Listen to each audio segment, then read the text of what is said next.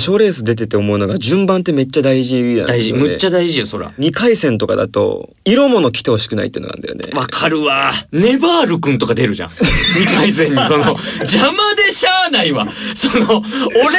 の前に伸びられたら困るって1 回あったのがね魔女っ子サリーちゃんみたいな